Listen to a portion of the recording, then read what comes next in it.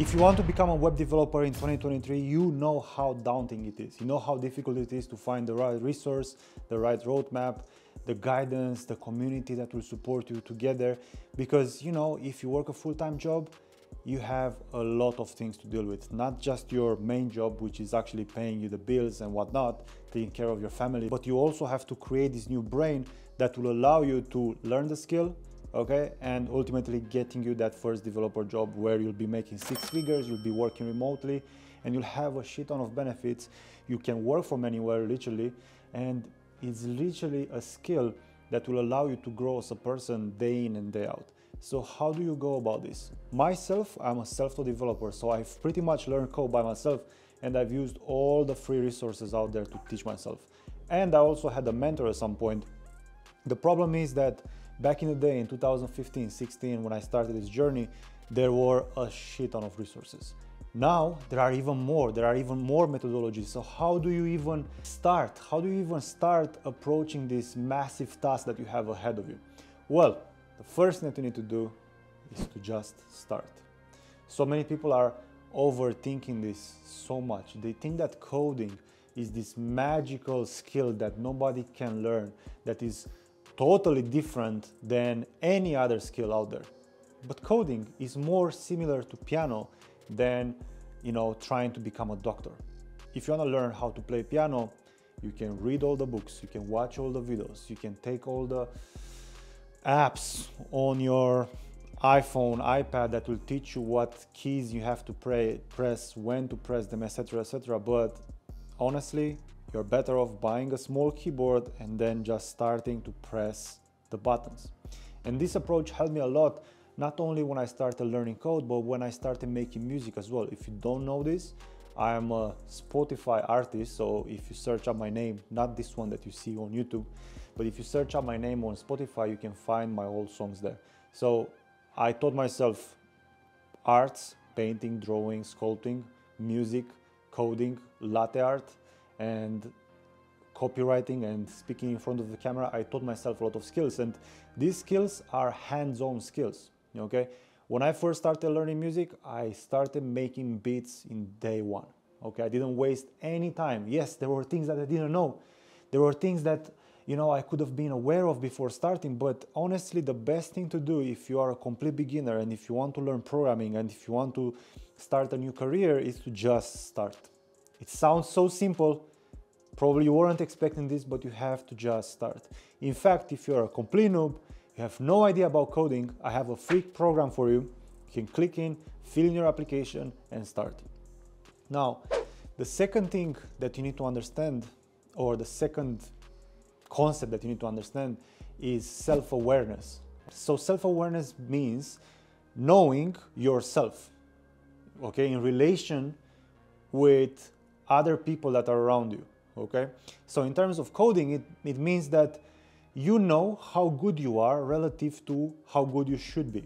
So most of the time, you know, we say, I'm gonna do my best to create this new thing. I'm gonna do my best to create this website. I'm gonna do my best to create this application.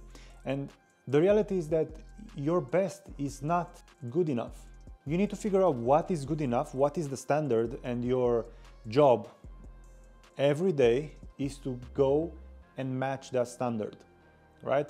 That's one of the most important mindsets that you can have as a beginner. Now, another thing that's gonna help you quite a lot is this concept, become 1% better every day.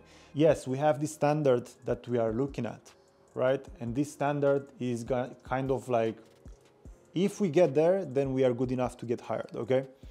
Now, in order to get there, you need to get 1% better every day. So meaning the question that you need to ask yourself every day is, am I better than yesterday?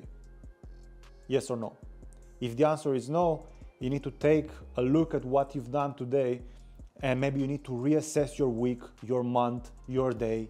Maybe you need to give up a few things here and there. Maybe you need to eat more healthy. Maybe you need to work out a little bit more so you have more energy. Maybe you need to sleep a bit more to have more energy. Maybe you need to say no to different people in order to spend more quality time to become better than yesterday. Spending more time being dead in front of your computer without being able to focus, it's not the same as spending one hour of quality time where you are 100% focused, okay? Please be aware of that. Time in doesn't mean anything. Quality time means a lot. Now, the next thing that's very important, okay, if you want to make this transition into software development is to have a community around you. In my program, we have a community which is like very close. There are not thousands and thousands of people that you don't know about that have no name and just an avatar and some weird username with some anime character.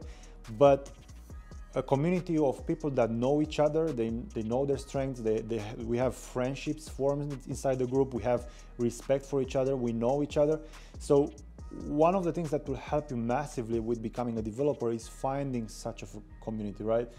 I know there are a bunch of people that have discords and whatnot, and there are, there are a lot of influencers who create this type of environment for you. That's a good place to start, but that environment is very low quality, okay? If you don't pay anything to get in, that means everyone will get in and everyone is gonna ask stupid question like how to become a programmer. Like bro, there are so many videos online that talk about this and there is always one guy that says how can I become a programmer? How can I start game dev?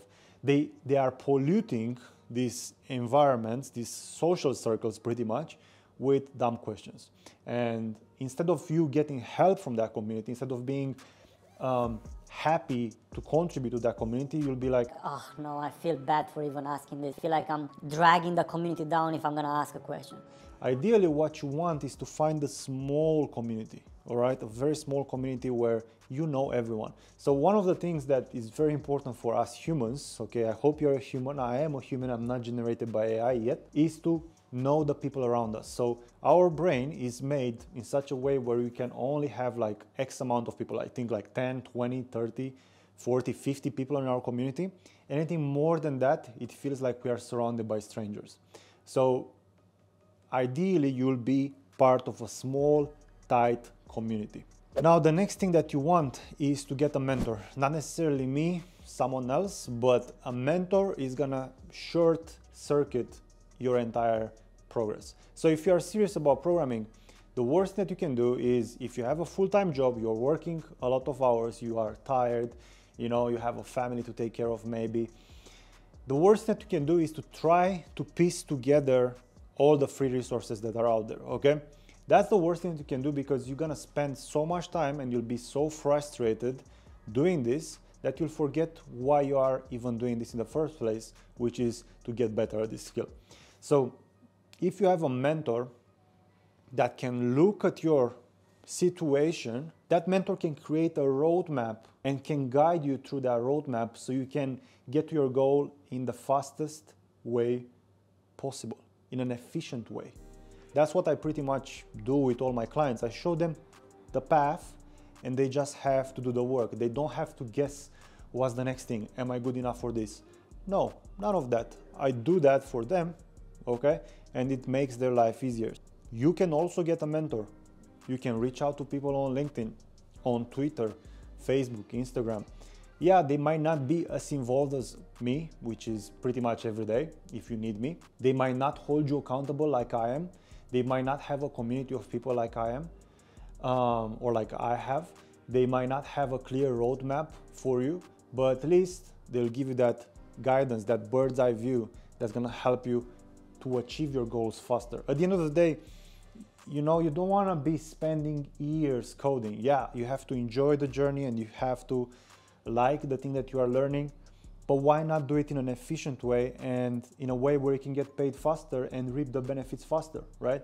You're only a developer once you get paid to be a developer, not when you are learning, right? So if your goal is to become a developer, get paid like a developer, work like a developer, have the benefits of a developer, be able to take the money that you are making, which is the vehicle, right? Coding is a vehicle that gives you the money, the opportunities.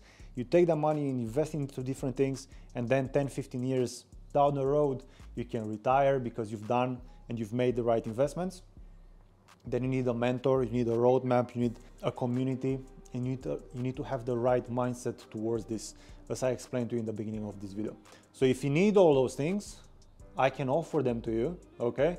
You can apply for a free consultation call with me. This is for someone that is a complete noob, right? If you're a complete noob and if you wanna fast track this, this link is in the description and the call is for you. If you have some experience with coding, but you feel like you're going nowhere because you are stuck in tutorial hell, you don't know what projects to build, etc., etc., this call is also for you. The link is in the description. Or if you finish the bootcamp and you feel like you are applying to thousands of jobs, but you stopped learning many, many months ago and you are making no progress and you are networking all day, okay, but you're getting no results, this call is also for you because you might not have the skills. So you cannot network your way into a job if you have bad skills. All right, so the call is for you, it's free. Let's see if what I have is for you. If it is, you can work with me. If not, no problem. I'm gonna tell you what to do for your own specific situation. So I'll see you in the next one. Bye bye.